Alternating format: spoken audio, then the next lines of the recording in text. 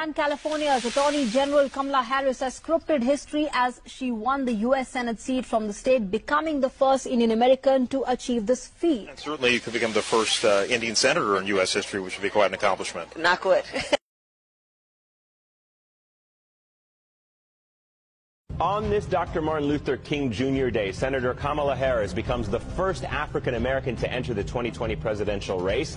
Harris is a freshman Democratic senator from California. She's the second African American female senator in U.S. history. And before that, she served